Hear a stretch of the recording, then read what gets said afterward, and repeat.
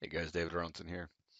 Uh, what I want to uh, discuss uh, is uh, getting additional points um, in your model. Uh, so what I've done is I've downloaded a roof drain here um, directly off of uh, BIM object. And what I want to do is I want to be able to have a point embedded in this family. Um, so regardless of where I place uh, this this this roof drain, um, you know, I can collect a point off of it. Okay. Uh, you can place manually place points uh, from the you know evolve tab here where you need it to be, but it'd be much more ideal to have that point embedded in the family. Okay. So what I want to do is walk you through kind of how to do that um, and have it um, that way it'll show up in your point manager uh, automatically. Okay. So I'm in the um, family editor here. Okay. Uh, so what I'm going to do is I'm going to insert uh, the point family. Okay. The evolve point family. Okay. Uh, so now it's down here in the um, in the browser. Okay. So what first off I need to set the work plane. Okay. Of the bottom down here. Okay. Uh, now I'm going to drop in the point.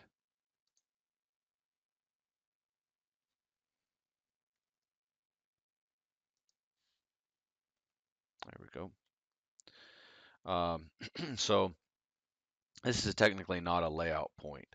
Um, so we have I have some default ones in here called uh, rectangular and uh, sleeve points. Uh, when you change that to a, to those types, you'll see you pretty much all you get is just a round dot. Okay, uh, so what you can do is also create more types of these points. So I'm going to duplicate this type and we'll say um, roof drain. Okay, click OK. Um, now we'll change the size and make sure that it um, you know stays with the, the the end of the run here. Let's move that off to the side. Okay, so it's staying with that connector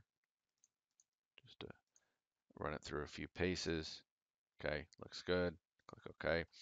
Um, so now we need to map um, some parameters. Okay, um, so how do we get the value of this point name uh, into the actual fitting itself? So we have some parameters built into the EV point family. Okay, so what we need to do is tell Evolve how to pass this information around.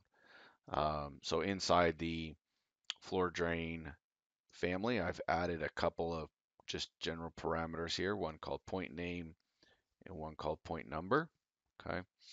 Um, so this these can be anything. You can name these whatever you want. You could say floor drain point number, you know, floor drain point name, okay?